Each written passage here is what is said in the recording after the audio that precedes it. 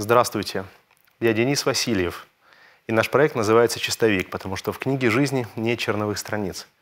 У нас в гостях сегодня Анна Лелик, психолог, писатель, психотерапевт, выпускающий редактор журнала «Фамилия». Много лет Анна в Киеве готовила волонтеров для общественного движения «Молодость неравнодушна», которые трудились в онкоцентрах, детдомах, больницах и домах престарелых. Сегодня с Анной мы поговорим о жизни и о мужестве быть. Аня, расскажи о себе. Кем ты сейчас себя больше всего ощущаешь в жизни? Mm.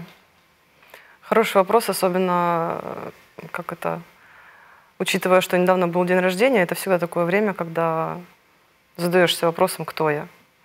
Вот. И, наверное, в день рождения э, больше всего каждый из нас чувствует себя ребенком, ну, потому что это день, когда мы рождаемся. Mm. И как-то так актуальными становятся эти вопросы, и вопросы детства своего, и каких-то там несбывшихся мечт, и каких-то, наоборот, э, там перспектив жизненных. То есть вот сейчас я, наверное, такой взрослый ребенок.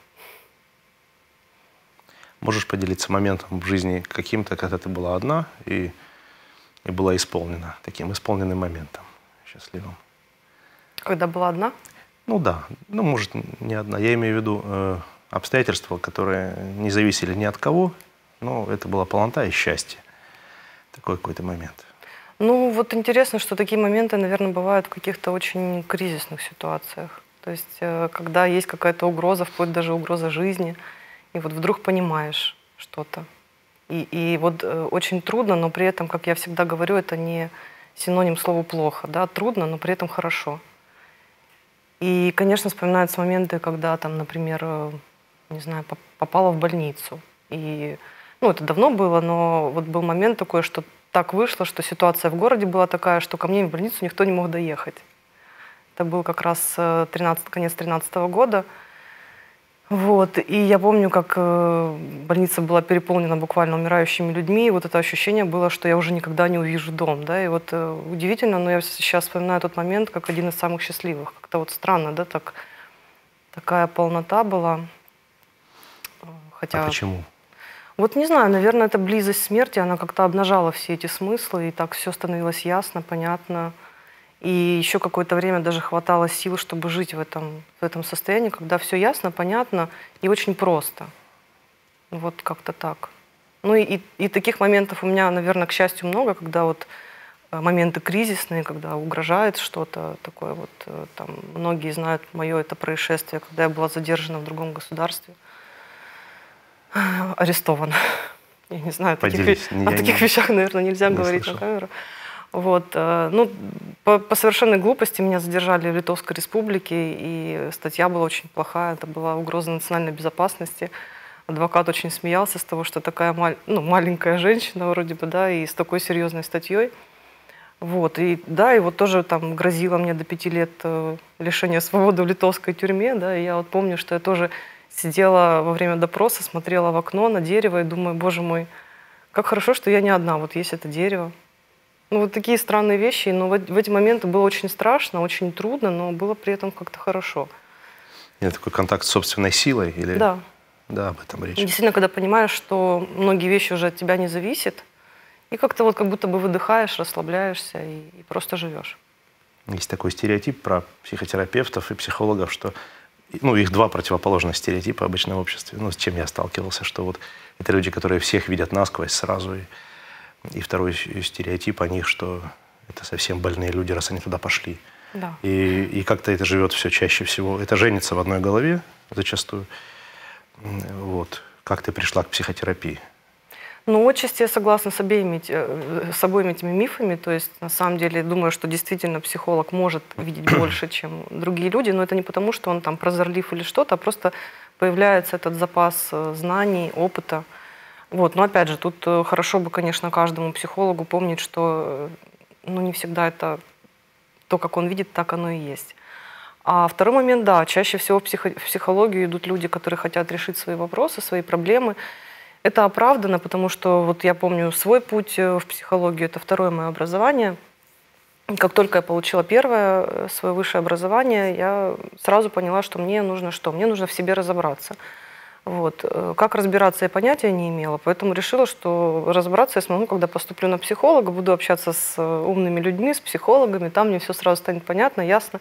Там мне стало вообще ничего не ясно, стало понятно, что я совершенно больна, и более того, что вокруг нас такие же больные, э, вокруг меня, и, и, и был даже такой момент, думаю, боже мой, а кто же лечит этих несчастных людей? Вот, ну, ну потом прошло. А почему до этого была французская филология?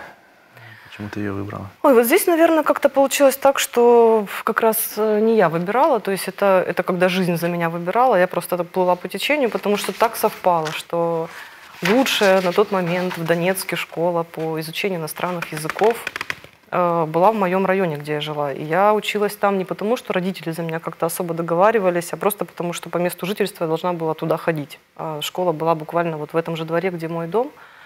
Вот. И закончив эту школу, у нас э, большинство выпускников э, ничего не умели, кроме как говорить по-французски. Ну, это действительно так, потому что у нас французский был 2-3 раза в день предметы, многие предметы велись на французском, ну, все остальное, конечно, провисало. Вот. И тогда что? Ну, французская филология, нам была открыта Горловский ИНЯС, Донецкий университет, и ну, поступила туда и прекрасно там училась. Очень люблю это образование, благодарна, что оно у меня есть, потому что оттуда моя любовь и к чтению, и к хорошим текстам, и к хорошим словам, и в том числе в психотерапии это очень помогает мне. Там научили всматриваться, да, в слова, да. учиться, слышать.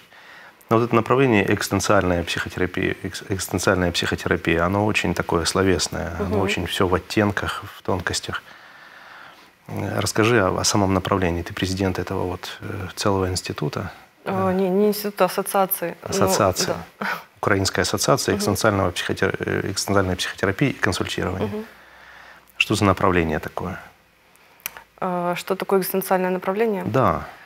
Вот интересное тоже направление, потому что сколько не пытаются дать ему какое-то четкое определение, оно всегда будет недостаточно четкое. То есть, потому что, наверное, сама экзистенция, она всегда шире, чем любые наши понимания о жизни. Что такое экзистенция? Ну вот пытаюсь сказать такими простыми словами, для, так чтобы а, не для психологов и не для философов. А, ну, наверное, это суть жизни, вот какая-то соль жизни, да.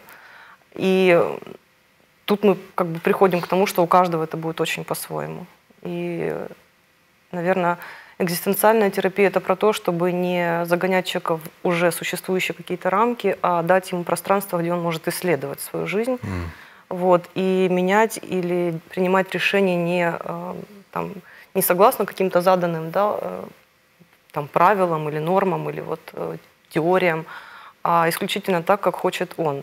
Ну и вот это вот так, как хочет он, это, наверное, такая ключевая точка, потому что очень часто человек не знает, как он хочет. Более того, есть очень много там каких-то надстроек, каких-то, не знаю, убеждений, каких-то верований, которые не суть его, да, а которые скорее ну, извне как-то в него э, вошли, да, и вот очистить человека от этого и помочь, чтобы он увидел, а что я, mm. что вообще я, и куда я, и где я, и, и зачем я, ну и вот эти все по Достоевскому проклятые вопросы к себе, чтобы они звучали. Mm-hmm.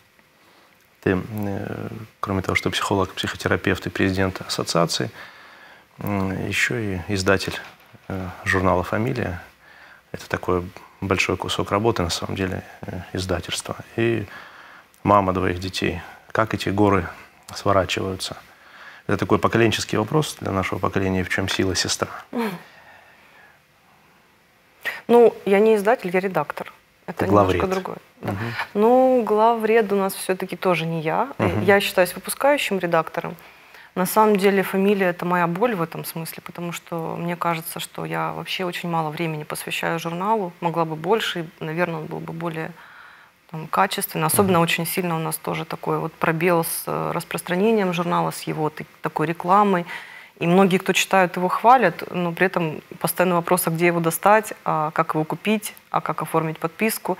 К сожалению, нет э, людей, которые бы этим занимались так вот профессионально. Угу. Вот. Э, мама двоих детей, да, и это вообще одна, наверное, из самых больших моих таких э, наград в жизни. Ну, наград вот таких, это дар мой, да, вот быть мамой.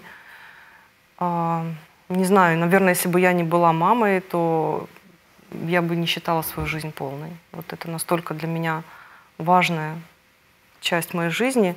Вот. Дети, правда, достаточно взрослые уже, и, и скоро, наверное, э, роль мамы сузится совсем. Вот. Но при этом как-то удивительно в сердце все больше этого материнского появляется. То есть это какая-то такая для меня тоже интересная область вообще. Вот. А насчет того, как я это все, как это все успевать, мне кажется, что я очень много чего не успеваю. То есть в моей голове гораздо больше э, всего, что я хотела бы, планов каких-то, идей, а успеваю я вот столько, и иногда бывает включается такой прям невроз, думаю, ну что же, так напрасно живу, столько всего не успеваю, где же мои там лучшие годы. Ну, в общем, вот это все тоже накрывает, поэтому не успеваю все. Ну и что делаешь, когда не успеваешь, когда не получается? На самом деле, э, как-то уже, наверное, лет э, пять назад из моей жизни полностью ушла спешка. То есть э, я редко могу вспомнить ситуацию, где бы я спешила. Mm. И я очень рада и, и как это благодарна себе за такое приобретение, потому что это очень как-то, не знаю, вносит в жизнь какую-то гармонию. То есть на самом деле спешки нет. Удивительно стало везде вовремя приходить. Даже вот сегодня я пришла вовремя. Это для меня как-то удивительно, потому что утром я была уверена, что я опоздаю, даже уже приготовила извинительное сообщение, что я опоздаю. Ну, и потом раз как-то все так складывается, вот э, Южный мост так пропускает, и все складывается, и я приезжаю вовремя. Но я не спешу, то есть у меня внутри не было этого чувства спешки. То есть думаю, ну опоздаю, ну в конце концов, ну, ну, ну ничего страшного не произойдет. Ну, ну даже если что-то отменится, да, конечно, очень неловко перед людьми, но но это же не самое большое преступление. То есть какой-то внутри себя как будто бы даешь себе на это право, а оно все раз и получается. Я не понимаю, это какое-то волшебство какое-то. Э, вот э, психолог, психотерапевт, психиатр. Э, все эти понятия часто путают. Э, называют просто мозгоправ. Угу. Профессии эти отождествляют и стесняются обращаться. Вот, э, разведи эти понятия, скажи, э, может быть, э, подскажи, в каких соотношениях они друг к другу находятся. Чем занимаются эти три разные человека? Угу. Мне кажется, что путаница происходит во многом, потому что тут как к нам психотерапия пришла в основном из Запада, да, да. то есть мы о ней знаем через фильмы, книги, ну, угу. да, вот. Угу. А, а у них это совсем по-другому. Ну, вот это психиатр, психотерапевт, психолог, у них это по-другому, чем у нас. Вот, э, потому что у нас, например, психотерапевт это все-таки медицинская такое, э, конкретно медицинская э, профессия, да, то, то есть... Это в названии но, отражено. На, да, но при этом, допустим, психотерапевт в тех же странах Евросоюза это да, может да. быть далеко не врач. Ну, и в этом смысле, когда они себя называют коллеги западными психотерапевтами, то это то, что у нас есть психологи, которые за, э, закончили какую-то такую ну, объемную психотерапевтическую школу, получили нужный там сертификат, прошли там свои супервизии, свою терапию, то есть выполнили ряд э, требований, они стали психотерапевтами в понимании европейском. Но у нас они как бы не могут называться психотерапевтами. Ну, то есть вот из-за этого такая путаница такая получается. Каша. Вот, по сути, ну, психиатр это понятно, это человек, который э, занимается больше медикаментозным лечением там, и так далее. Ну, я думаю, здесь мало у кого есть вопросы. Психолог, вот чаще всего это что-то больше такое педагогическое, психологическое. Это вот психолог в школе, например, да, или психолог, ну вот как правило, то есть это все-таки, да, а психотерапевт это что-то больше, чем уже педагогическое, это уже все-таки вот э, тот, кто может с тобой идти в твою жизнь в качестве вот такого действительно доктора души, вот, но при этом вот опять же в нашем законодательстве нет такого названия специального или я не знаю даже какой-то такой ну, мы называемся психотерапевтами. Ну вот э, такая сложившаяся современная да, традиция, что есть психиатрия, есть психология как педагогическая угу. практически специальность, ну, смежная. И вот психотерапевты приходят сейчас у нас из двух направлений. Да. И они отличаются, психиатры, психотерапии от психологов психотерапии. Да, да, да. Ну, потому что я думаю, хотя, с другой стороны, вот, допустим, институт, в котором я училась, да, вот э, МИЭК, про который ты упоминал, и вот училась я, и учился мой коллега, у которого ты брал интервью, э, Константин. И вот он психиатр, да, и он пошел в психотерапию, чтобы э, как психиатр уметь все-таки с людьми э, разговаривать и выстраивать эти терапевтические отношения, такие психотерапевтические. Mm. А я психолог, пошла туда да. же учиться, да, и получается мы нашлись где-то, вот есть у нас точка соприкосновения, очень часто мы даже клиентов друг другу перенаправляем, ну, по разным там причинам. Но при этом есть область, где он только врач, и в то же самое время есть область, где я могу быть только психолог и ну, даже в терапию не, не идти, да, там с некоторыми клиентами. Ну, то есть как-то интересно, такое это как будто бы точка сборки наша такая, угу. да, какая-то точка. Пространство диалога. Да. Что тебя раздражает э, в отношении к э, твоей профессии? Какие стереотипы или ну, социальные ожидания? Ну, есть два момента. Один – это, наверное, то, что э, многие хотят очень быстро решить вопрос какой-то, приходят, ну, так, починить себя, да, такое функциональное какое-то отношение к себе, вот что у меня там деталька поломалась, я приду, быстренько налажу и все. И, ну, кстати, есть э, психотерапевтические школы, которые ну, этим и занимаются. Да? Там они гарантируют даже за 10 сеансов э, помочь решить какую-то конкретную проблему порядке. Но вот дело в том, что экзистенциальная психотерапия – это сама по себе такая терапия длительная, и далеко не каждый к ней готов. И очень часто приходятся клиенты, которые, ну, люди, которые обращаются, я им объясняю, что я не могу их взять в клиенты, потому что я вижу, что у человека нет внутренней готовности – ну, к такому длительному путешествию, то есть э, действительно к такому качественному преображению своей жизни. Там нужна какая-то вот функциональная штука такая, да. Коучинг какой-то. Ну, коучинг, да, вот Тренинг. такой какой-то когнитивно-поведенческий. Иногда, кстати, он действительно нужен. Есть э, люди, с которыми невозможно идти в такие вот экзистенциальные дебри, пока, допустим, человек, ну, какой-то, не знаю, невроз навязчивых состояний, но ему действительно нужно как-то чуть-чуть себя как-то урегулировать, подлатать. да, подлатать, чтобы вообще сил хватало на вот все то уже, что потом экзистенциализм за собой влечет. Поэтому... И вот этот момент еще такой, который мне не нравится, это то, что многие говорят, что ну вот сейчас везде психологи, всюду эти группы какие-то там, какие-то мероприятия, ну как будто бы вот как-то жили раньше. Да-да-да. И здесь, конечно, приходится ну, отвечать, что жили-то раньше, конечно, жили, но жизнь меняется. И ну, как я шучу, психологов не дурак придумал. То есть они почему-то появились, и почему-то именно в наше время, да, вот как-то эта профессия спросом пользуется и становится их все больше. И действительно, наверное, эти шутки про то, что скоро будет на каждого человека по психологу, они имеют место быть, потому что, ну, это, это правда так. То есть э, сейчас слишком много э, всего на человека наваливается, при этом э, есть такая Э, бытовая расслабленность. Ну, то есть нам же не надо там добывать, э, там, не знаю, воду, соль, там, не знаю, что стирать руками. Мы избавлены от этого. И вот один, кстати, из экзистенциальных мыслителей говорил, что когда человек не может облегчить себе жизнь, он будет занят тем, чтобы ее себе усложнить. И мне кажется, что вот когда мы себе облегчили жизнь в плане быта, то мы начали ее усложнять в плане души. То есть, э, ну, действительно, таких всяких э, комплексов, синдромов, там, хворей, вот этих психологических, их никогда не было столько, сколько сейчас. Вот. И тогда, да, тогда нужны психологи просто, чтобы как-то возвращать себя себе. Ань, ты ученица Александра Ефимовича Алексейчика, э, и этот патриарх экстенциального метода на постсоветском пространстве. Расскажи о встречах с ним. Ему уже почти сто лет, да, сколько-то. Он, про него какие-то ходят легенды, и противоречивых э, больше, чем э, непротиворечивых. Расскажи, пожалуйста, о своей встрече с ним, каких-то интересных встреч. 81 ему год, э, в том году был юбилей, мы как раз вот успели, успела я еще до карантина попасть в Вильнюс, поздравить лично, ну и потом буквально там считанные недели начинается уже карантин, и все, и Литва остается для нас закрыта, я думаю, надолго. Ну, э, вот как я часто говорю, что не существует метода Алексейчика, да, что люди, которые будут пытаться копировать то, что он делает, они будут э, ну, просто такими, ну, в лучшем случае, если они хорошо будут это делать, они будут э, как этими провок провокативными психотерапевтами. Это в лучшем случае. А если в худшем случае, то они будут просто психопатами, псих психотерапевтами, психопатами.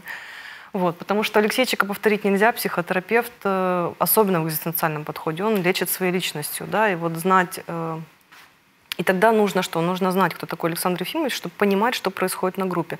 Я очень часто, кстати, в Киеве видела, вот когда он приезжал на киевские семинары, как люди, которые приходят в первый раз, часто не понимают, что происходит. Они сидят, смотрят, они говорят, что вообще происходит. Но потом э, что-то у них там в душе запускаются какие-то процессы, что-то меняется. Когда на следующий год они приходят на, ну, к нему опять на, на этот семинар в Киеве, они уже многие вещи понимают, потому что они понимают его. Ну, они видят его, из каких он И почему он там часто делает э, такую внушительную первую вводную часть, где он рассказывает о своем отце, о своей маме, о том, как он э, прожил там свои свое военное детство, да, военные годы, там, как он там, кем он был в Литве, у кого он учился. И он это все рассказывает для того, чтобы возник вот этот контекст, в котором лучше становится понятно, что потом в итоге он делает э, во время своей психотерапии. Угу. Вот, ну и э, во время стажировок в Литве, да, вот э, то, что мне посчастливилось видеть, это то, как он работает с пациентами, то, как он... Э, действительно, вот часто бывает, человек приходит, например, там вот один случай, который очень хорошо помню, у человека диагнозов, медикаментов, ну просто вот такая карточка. При этом это ну, еще здоровый, еще как здоровый внешне, и еще достаточно молодой мужчина, 50 лет, который при этом уже признан недееспособным, Э, сидит у него в кабинете, я смотрю, но он разговаривает как э, абсолютно нормальный, здоровый человек, но только очень приглушенный медикаментами. И начинает Алексейчик постепенно снимать ему медикаменты, понемножку.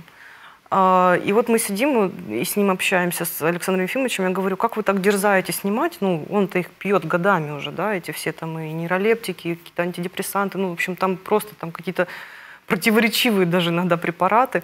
А он говорит, смотрите, вот если человек принимает слишком много препаратов, то он же себя и, э, воспринимает больным. Он говорит, если вам сейчас прописать 20 лекарств, вы себя почувствуете здоровой? И он говорит, вот смотрите, а когда чувствуешь себя больным, тогда вроде бы как и многое тебе позволено, ну, из того, что тебе не надо, но в то же самое время много не позволено из того, что тебе надо. То есть вот, да, как бы человек, получается, может позволить себе какие-то острые реакции странные, там, психотические, что он больной. Но он не может себе позволить пойти на работу, потому что он больной. Uh-huh. Он говорит, нужно возвращать э, как бы человеку ответственность, да, вот э, постепенно уменьшая, сначала уменьшая, а потом снимайте медикаменты. И действительно, когда вот, допустим, в, на стажировке в течение двух недель я смотрю, что происходит с ним, когда этот человек входит в группу, когда он становится частью коллектива, когда он потом становится, например, старостой палаты, когда на нем начинает уже э, появляться у него какая-то ответственность за отделение, да, и вот и, какое-то преображение происходит. И поскольку у Александра Ефимовича это отделение психотерапии, в, кстати, первое на постсоветском пространстве, это было отделение именно психотерапии, э, это такого рода община, то есть когда человек выписывается уже э, с больницы, да, он может приходить на, на группы, посещать просто группы, чтобы вот, ну, как свое состояние как-то стабилизировать дальше, да, и дальше есть э, группа там по средам, в которую он может приходить постоянно, столько, сколько ему будет нужно, но это уже бесплатно, да, и, ну, это роскошь на самом деле для европейского государства, uh-huh. бесплатные группы, это что-то вообще нереальное, вот, и удивительно то, что отношение вот к, к этим людям, да, как, не как к больным, я имею в виду отношение врачей, а как, эм, как части общины, то есть это, это для меня вот такой удивительный опыт вообще. То есть в этой работе смещается фокус не на то, что я болею, а я выздоравливаю. Да. И... Более того, там очень важные слова Александра Ефимовича, не, не то, что я прихожу, чтобы меня лечили, а я прихожу лечиться. Да, вот это вот лечиться, это все-таки, опять же, принятие на себя ответственности, что не меня лечат, а я лечусь. Угу. И это... Авторская позиция. Да. Почему психотерапевты не говорят о политике? Ой, знаешь, сейчас уже о чем только не говорят психотерапевты. Для меня какая-то такая больная тема вообще, когда я вижу, открываю Facebook и вижу психотерапевтов, которые, ну, чуть ли не агитируют прям. Особенно, когда в стране происходили какие-то острые да, моменты. Вот эти моменты агитации, особенно от э, психотерапевтов с именем, ну, которые имеют достаточное количество подписчиков, клиентов – меня это, конечно, очень настораживает, потому что всегда, когда я это читаю, причем неважно, в какую сторону идет агитация, у меня вопрос, а что делать тем, кто, тем клиентам, которые из противоположного лагеря, угу. да, или там, или которые просто не думают так, угу. пусть даже это не противоположный лагерь. И мне кажется, именно поэтому клиент, э, психолог, как и врач, э, он может иметь свою внутреннюю позицию политическую, естественно, как гражданин своей страны, но э, когда перед тобой клиент, ну, а перед, например, врачом э, пациент, то для врача, например, клятва Гиппократа, вот его политика. Он должен помогать человеку. Ну и также для меня и психолог. Он должен э, следовать за душой клиента, потому что ну, у нас люди в Украине очень разные. И у меня клиенты это очень разные люди. Ну, иногда просто А, один уходит, другой приходит, э, и, и между ними перерыв полчаса, а это люди совершенно с разными мировоззрениями. А, но поскольку я смотрю на человека как на человека, то его политические ценности — это только часть его. И мне не нужно здесь становиться на трибуну и проповедовать там что-то, кого-то куда-то агитировать. И, конечно, мне кажется, что для психолога это недопустимо. Но это мое мнение. Да, приходят все на свете, да, на, э, обращаются со своей там болью или запросом. Всякие зеленые, красные, угу. даже люди политических пристрастий цвета топленого молока. Но вот э, у тебя есть такой доклад на конференции с названием значит, э, идеологическая психопатология. Угу. Да? О чем этот твой термин, если он твой? Ой, термин, Или наверное, кстати, э, мне кажется, он родился благодаря Александру Ефимовичу тоже. То есть он меня как-то так э, э, задал нужный вопрос, и потом раз, и тема появилась. А, но эта тема была про то, как вот и какие-то идеологические штуки становятся твоей психопатологией. То есть когда ты начинаешь верить, что твой угол зрения или твое мнение единственное верное. И это касается не только политики, это может касаться, ну вот там на злобу дня отношения к ковиду, к карантину, к локдауну, отношение к прививкам, то есть что угодно, когда э, ты вдруг начинаешь думать, что то, как ты думаешь, это единственное верное. То есть э, угол зрения только твой верный. Угу. Я очень э, люблю в таких ситуациях, особенно во время групповой терапии, предлагать клиентам, ну, участникам группы такую очень простую штуку. Вот э, просто э, прошу взять э, там 10 минут, бумажку, э, ручку, да, и каждый, чтобы описал комнату, в которой он сидит. Просто комнату. А, но только не поворачивая головы. Ну, то есть вот так вот я сижу, mm. что вижу, то и пишу.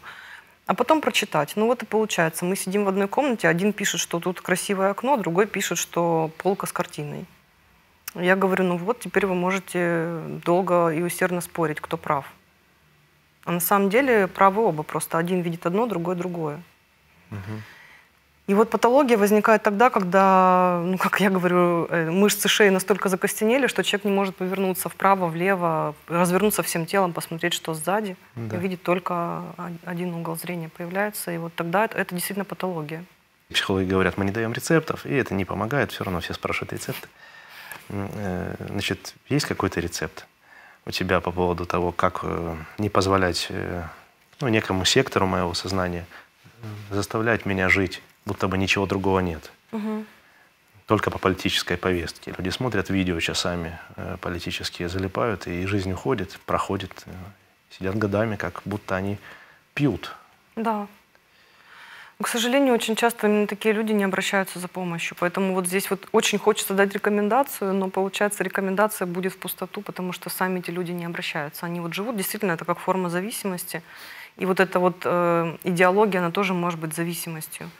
И есть даже очень хороший психоаналитик, хотя я не психоаналитик, которая исследовала вопросы, допустим, радикального национализма на примере э, Германии, ну, понятно, 30-х, 40-х годов, и как там строилось, например, вот воспитание, что выросли вот э, там офицеры Третьего рейха. Угу. Ну, да, вот.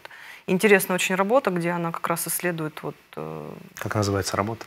Работа называется «Вначале было воспитание». Это очень хорошая книга, хотя очень тяжелая, потому что читать дневники Гиммлера, например, ну это то ну, еще да. удовольствие. Вот. Но зато, с другой стороны, очень наглядно показывает, откуда происходит вот эта узость взглядов, что на самом деле она охраняет как будто бы человека да, от, э, от всей широты жизненной, от всей а автор? перспективы. Э, прости, Это. Алис Миллер. Она психоаналитик достаточно известная. И... Алис? Алис Миллер. Миллер. Mm. Вот. Но вот эта помощь в этой, вот якобы в ограждении от всей этой широты жизни, она, конечно, такая медвежья услуга, потому что она помогает, но она же и забирает э, вот эту вот всю как раз широту жизни, этот дар жить. И ну вот какая рекомендация здесь может быть? Ну, смотреть по сторонам. Мне очень помогает наглядно вот эта картинка. Эм, Наверное, многие видели в сети, она есть, когда фигура выведена, на нее свет падает с разных сторон, и так это круг, так это прямоугольник, угу. а по-настоящему это эллипс, да, если я не ошибаюсь. Э, цилиндр, цилиндр. Какой-то цилиндр. Да.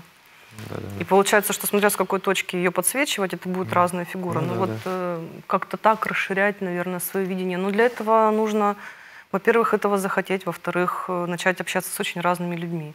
Вот, может быть, мне как раз помогает э, от этой идеологической психопатологии подлечиваться то, что круг общения людей очень разный. Ну, то есть... Э, ну, именно, э, как ты думаешь, именно эта причина сегодня такого раскола, такого раскола в стране, что друзья не общаются, семьи рушатся, mm-hmm. часто просто потому, что вот идеологически противостоят. Ты не такой или ты не такой. Причина Знаешь, в этом? Мне кажется, что за, вот эти, за, за свои мировоззрения, за вот такие, особенно где речь идет о политике, там люди держатся, там на самом деле что-то другое совсем скрыто. Там обычно есть какая-то очень личная боль или очень личная такая трагедия.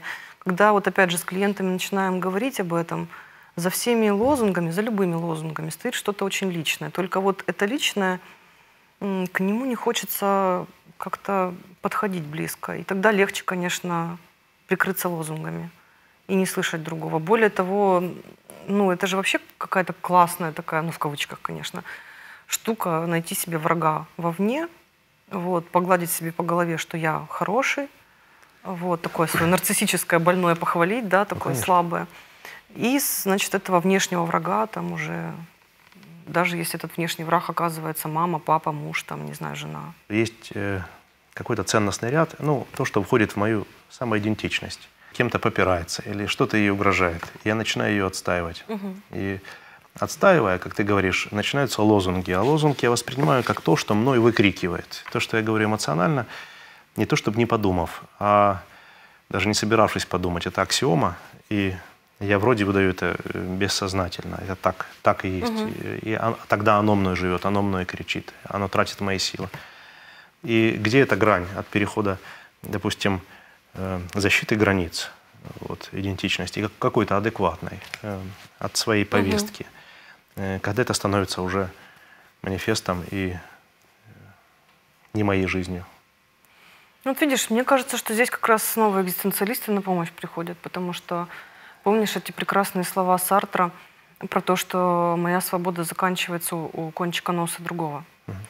То есть я могу обозначить свою позицию, могу сказать, что вот в моей картине мира это вот так. И у нас как-то очень легко тогда вот это сказать, раз, и как-то вот становится таким уже потребностью доказать. И иногда вот здесь вот грань тон, тонкая такая, ее трудно найти. Вот где я просто сказала, а где я уже с пеной у рта начинаю что-то доказывать. Угу. Сказать, конечно, это, это я считаю, это важно, ну, потому что мы, мы люди, мы должны общаться, мы должны обозначать, как ты это говоришь, обозначить то, как это в моем мире. Да. Это, для меня это вот так. Но потом же что? Вот когда я говорю, для меня это вот так. Собеседник говорит, а для меня это вот так. И следующее, что хочется сказать, это ну, как бы его мир э, перечеркнуть, потому что когда он говорит, для меня это вот так, э, он слишком близко ко мне подходит, он начинает мне как будто бы угрожать, как будто бы, потому что на самом деле никакой угрозы нет, она вся у меня в голове. Вот, и тогда хочется сделать следующий шаг. Да нет, твое не совсем так, потому что вот. Ну и вот они начинают границы друг друга вот так нарушать. А в действительности просто вот услышать, что вот его граница, вот моя граница. Они у нас могут быть, э, ну, наши мнения могут быть очень разные. Но при этом мне сейчас ничего не угрожает. Но для того, чтобы прийти к этой позиции, что сущностно мне ничего не угрожает, для этого нужно взрастить в себе этот, не знаю, такой стержень, когда я есть сама по себе, даже если, если я не знаю, если все большинство против меня. Это труд. А третий вариант, вот каким образом э, сказать, э, когда я, э, когда другой, допустим, сказал о своих взглядах, а я считаю, что они неправильные нарушаю его границы. Вот этот угу. другой начинает тогда защищаться и, допустим, нарушает тогда мои границы. Как э, защищаться таким образом или не защищаться, как эти границы отстаивать, чтобы, если они уж нарушаются, как заявить о том, что не нарушай, пожалуйста. Угу. Чтобы это не перерастало в войну, где уже никто не помнит, кто начал. Да. Но мне кажется, что здесь все, что можно, это вежливо попросить закончить на этом диалог, потому что любые... Вот, понимаете, понимаешь, как нам, мне кажется, что-то с нами такое происходит с людьми. Не знаю, может быть, это такое такая вот какая-то гордыня или что-то такое глубоко уязвленное, что очень важно, чтобы мое слово было последним. Причем ну, на эту тему очень много анекдотов разных, да, и там в семейной жизни это часто бывает. Почему-то приписывают женщинам, хотя на самом деле вообще это не относительно пола. И вот это мое слово должно быть последним, то есть даже если я до свидания, но я должна сказать последним. То есть вот, ну, как бы, или уйти так, чтобы этот уход был как, прям как последнее слово. И отказаться от этого последнего слова. Вот человек говорит, вот что-то говорит, и сказать «хорошо». Все. Или не сказать «хорошо промолчать»? Ну, в смысле, Что он сказал? хорошо сказать, ну, как бы себе даже, да, вот что все, ну, да. Интересно, я даже встречал этому учат в ведении переговоров. Угу. Последнее слово должно быть, думаю, ну что, что же должно? Ну, э, неужели переговоры всегда механика? Это же надо дать место, даже в продаже, да, надо дать место, ну, не купить человеку тогда. Остается самое, поле уважения. Ты и... понимаешь, самое что интересно, когда э, ты вот не, не, не говоришь это последнее слово, ну, в смысле, что последнее слово не за тобой, вот да, там да. появляется вот этот маленький островок свободы, где собеседник может действительно задуматься, а почему ты так думаешь? Не в смысле изменить свое мнение, да. но ему может стать интересно. Угу. А вот часто, когда ну, вот это появляется желание отстоять любой ценой свою правду, тому уже неинтересно, он, потому что он силы свои тратит только на то, чтобы защищаться. Ему уже не до интереса, там другая энергия совсем. Ань, я познакомился позже с тобой гораздо, чем узнал о тебе. А до этого я читал твои тексты, ну и все время слышал, что э, значит, с э, молодежным движением, с движением э, волонтерским, социальным движением «Молодость неравнодушна» mm-hmm. работает психолог Анна Лелик. Психолог готовит волонтеров для Тогда создавалась большая база доноров крови угу. по больницам, онкогематологии, по, по больницам Киева. И вот ребята работали в онкоцентре как специалисты, помогающие профессии, ну, участвующие в жизни дома престарелых, дома малютки. Расскажи про это направление и какие там у тебя были встречи на этой ниве. Что тогда происходило? Чудес невероятно много было, и на самом деле вот тогда у меня родилась эта идея про то, что волонтеры бывшими не бывают, да, вот, перефразируя. А, потому что когда человек приходит в волонтерство, в нем запускается какой-то такой процесс, который потом, даже если он уходит из, допустим, волонтерской организации, у него появляется уже, ну, это мышца такая, да, вот она как бы укрепляется, эта душевная мышца, где он уже не может э, быть э, посторонним относительно того, что происходит в обществе. То есть он все равно включен в это как-то. И многие волонтеры, которые уже выросли, так сказать, из возраста молодежной организации, уже они так остепенились, стали там уже замужними или женатыми людьми, у них уже свои семьи. А я иногда смотрю там в той же ленте Фейсбука, а все равно что-то делают. Ну, как минимум, ту же кровь сдают или там хотя бы материально теперь могут участвовать, ну, потому что уже многие стали из студентов э, специалистами и имеют возможность материальную. То есть и, ну, конечно же, всегда говорила я про то, что волонтерство, оно, оно очень личное. Я волонтерам, когда они приходили, давала смотреть один фильм, который был очень странный для волонтеров. Посоветуй. Вот. И более того, когда люди, опять же, это как с Алексейчиком, не зная меня, говорили, а вот там Анна Лелик, которая работает с волонтерами, она советует такой фильм. Я потом слышала, и, боже, только чтобы это, это фильм «Молчание ягнят» однако. Не волонтерский фильм такой совсем. Но на самом деле я э, буквально недавно его опять упоминала, хотя уже столько времени о нем забыла. И там есть одна очень классная идея. Вот мы его привыкли смотреть как ужастик, ну такой э, триллер, да, кровавенький дов довольно. Но там есть одна очень крутая идея, э, и она достаточно глубокая. Почему фильм называется «Молчание ягнят»? Там, э, если ты помнишь, герой Энтони Хопкинса — это маньяк, который сидит в тюрьме, за особо важкие, э, особо тяжкие преступления там, и так далее. Страшные вот. маски. Страшные маски, потому что он ест людей. И к нему период... а, в это время в городе появляется маньяк, который убивает э, невинных женщин. И к нему постепенно начинают приходить э, разные полицейские, которые назначаются вести это дело, э, чтобы он, как маньяк, маньяка может лучше понять, то есть помог выловить этого преступника. И что он делает? Он всех их, ну, если коротко говорить, посылает. И к нему однажды приходит вот э, молодая эта агент, которую Джоди Фостер играет, и э, он ей говорит, я соглашусь тебе помогать, если ты мне расскажешь про свое детство. Ну, психоанализ. И что она ему рассказывает? Она рассказывает ему о том, что, будучи девочкой, сиротой, ее взяли воспитывать э, ну, дядя с тетей там, на ранчо, которые овцами занимались разведением, разведением овец. И вот э, ей там было там 10 лет, э, и овцы это были единственные ее друзья, потому что она была такая вот, ну, замкнутая, одинокая девочка. И э, как-то ночью она слышит разговор, что завтра будет какой-то там ярмарка или что-то, и будут этих овец, ягнят точнее, убивать, ну, для того, чтобы мяско кушать. И, ну, ей становится очень страшно, и что она делает? Она ночью идет в этот в стойло, да, и открывает ворота, чтобы эти ягнята выбежали оттуда – она их хотела спасти. Но баран на новые ворота, это же очень известное выражение, ягнята, они без э, пастуха, они никуда не идут. И тогда что она делает? Она берет э, ягненка, который, наверное, весил столько же, сколько она, и пытается его, вы... ну, бежит с ним, вынести его хотя бы одного.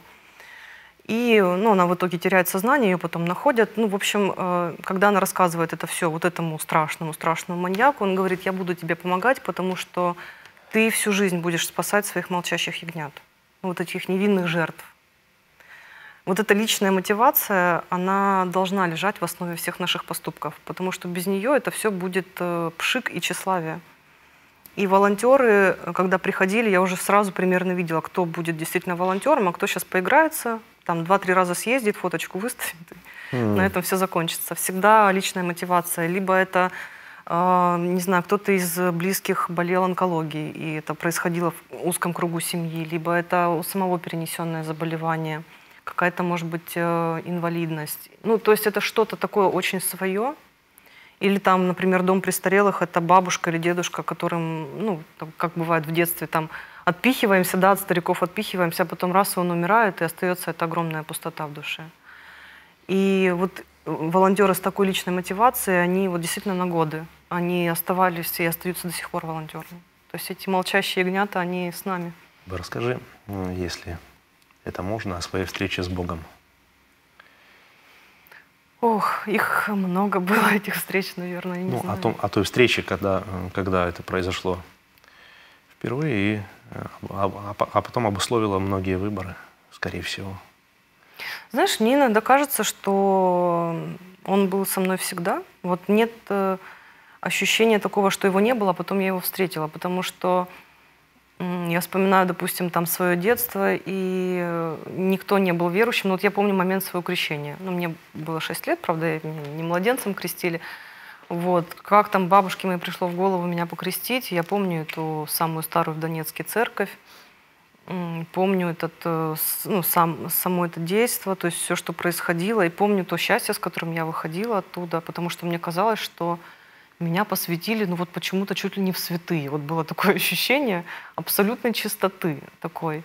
Вот. И этот крестик, который у меня был, там бабушка мне подарила иконку, еще такую вот, ну, в то время эти обычные бумажные такие вот прям ценности не представляющие, материальные, вот, но очень ценные.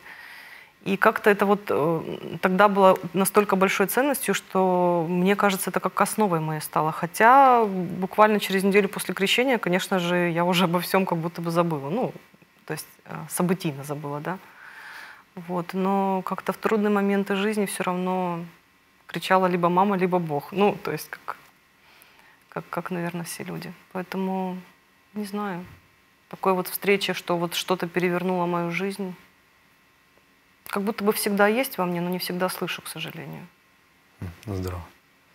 Расскажи про любимое место из Евангелия. Ну, или то, которое сейчас вспомнится. Слушай, знаешь... Э, Сложно а... сказать любимое, да, если...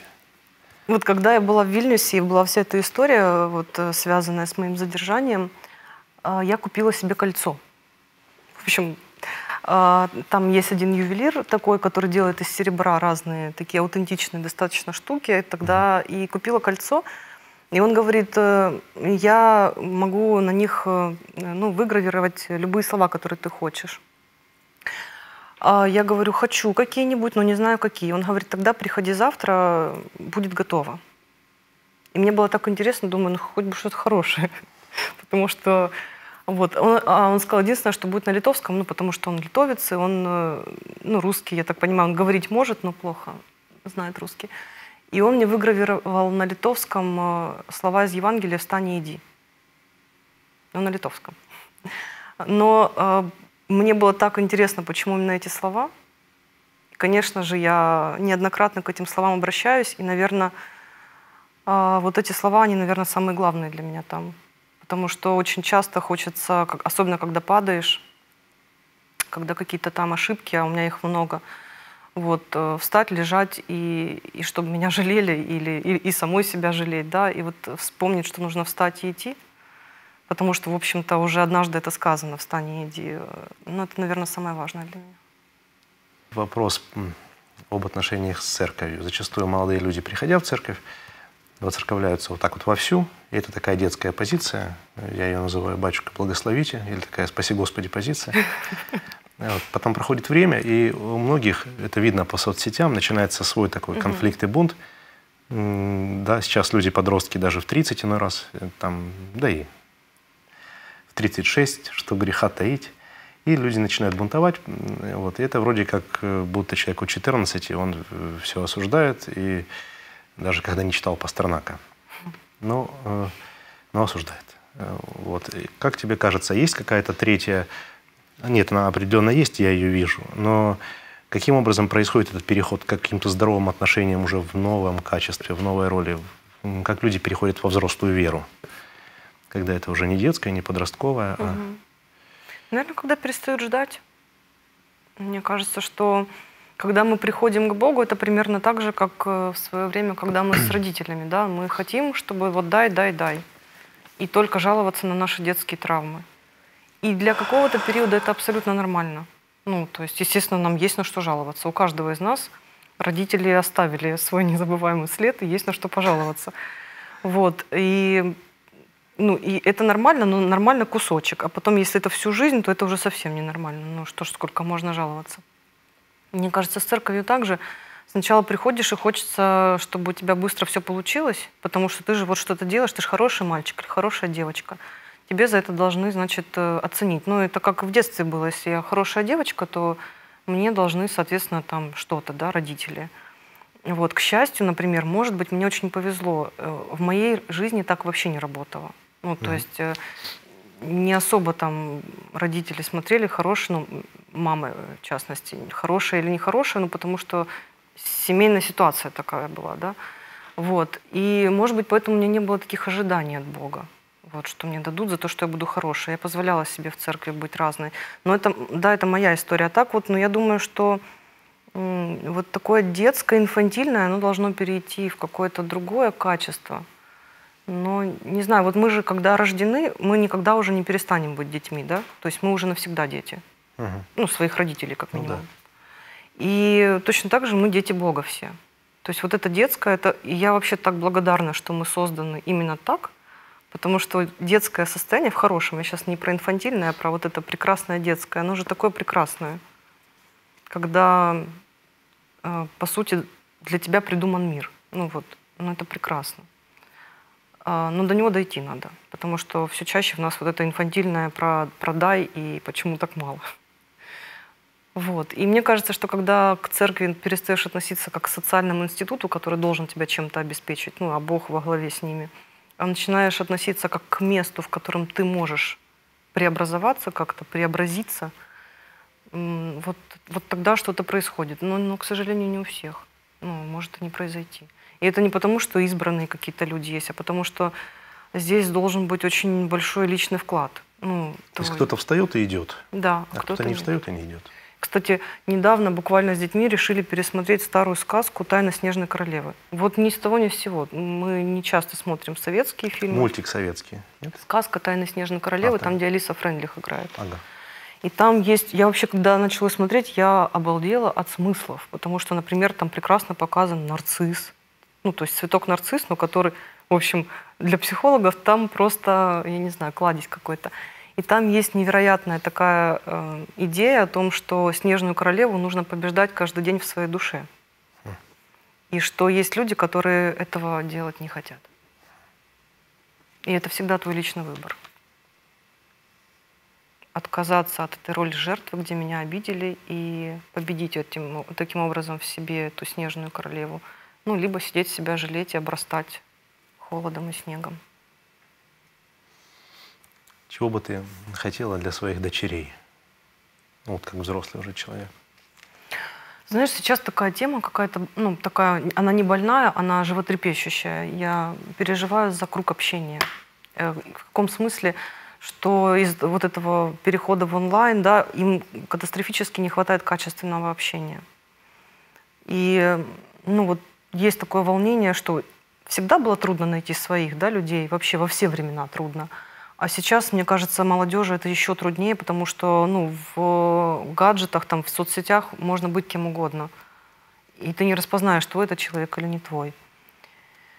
И сейчас стараюсь максимально по возможности подсказать им обеим, где, где можно искать этот круг людей, которые будут единомышленниками там, по интересам, по убеждениям, по каким-то там хобби. И очень хочу, чтобы вот это у них было, вот как бы эта социальная часть развивалась, потому что, мне кажется, там интеллектуально, душевно, ну, что мог, могли, мы сделали, да, и как-то так, э, мне кажется, это хорошие люди. Они. А вот э, в плане социального такого, то здесь есть такая родительская тревога, чтобы были друзья, чтобы были, была компания, ну, чтобы были какие-то свои вот эти люди. Это.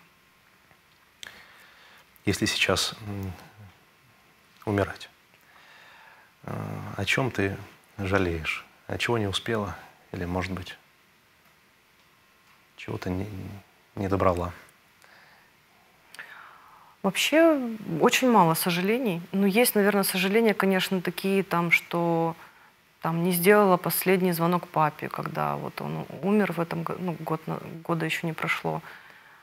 И позвонила уже, когда, когда уже было поздно, да, когда он уже не мог говорить. То есть э, вот позвонить бы там на неделю раньше. Ну вот э, такие моменты. Но с другой стороны, знаешь, именно вот этот не сделанный вовремя звонок, он э, дал столько силы, чтобы вспомнить самое лучшее, что было с папой. Ну вот, знаешь, когда эта боль, да, большая от несделанного, она заставляет много, а, как будто большую работу проделываешь такую внутреннюю. Поэтому вроде бы как и жалею, а с другой стороны благодарна все равно, что так. Не знаю, знаешь, у меня всегда была мечта стать матерью сына. Вот мне очень жаль, что я этого не знаю. Потому что быть мамой дочек – это прекрасно, это дар, я ну, бесконечно благодарна Богу, что у меня две дочери, они очень такие разные, это по-разному было. Но вот мне все время интересно, как это быть мамой сына? Вот как родить человека противоположного пола? Как вообще, вот что это такое, что это за чувство? То есть вот есть такая, ну даже, наверное, зависть к женщинам, у которых есть сыновья, да, и ну, такое сожаление, что, наверное, у меня этого уже не будет. И, ну, не знаю, может быть, будет, кто его знает. Сейчас чудеса такие происходят. Но вот как-то, не знаю, мне кажется, что вот многие так недооценивают те, у кого есть мальчик и девочка, да, вот родители, они так не понимают, насколько им повезло. Они же смогли какую-то полноту воплотить. Вот, э, не знаю, вот, вот это вот есть, да, такая какая-то мечта. А, притом у меня и крестницы все девочки. То есть у меня как-то вообще вот э, что это такое. Может, не доросла еще до того, чтобы быть мамой сына, не знаю. Спасибо, у меня все. Я, Ань, спасибо, что пришла на интервью.